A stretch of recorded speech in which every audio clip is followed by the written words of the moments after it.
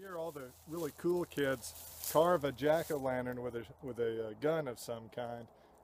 I'm going to try to practice carving this one uh, with a shotgun. I think it can be done uh, if I'm real careful with my aiming. So let's, let's see. I'm going to start out by making a hole in the middle for the nose. Then I'll probably do a couple for the mouth, maybe uh, the two eyes after that. So we'll see what happens here.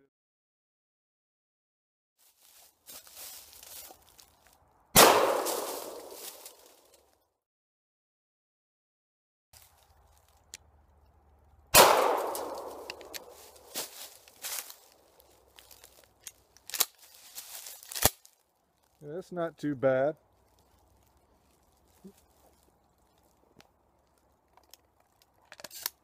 Okay, I'm going to try to make a uh, eye up in the top.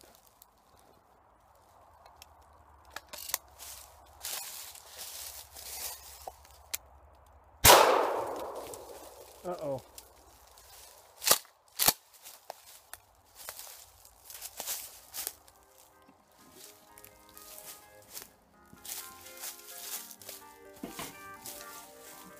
Yeah, I think he's pretty much done.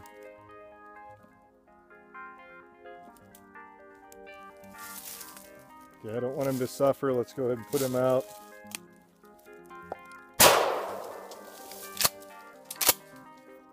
I think that took care of him.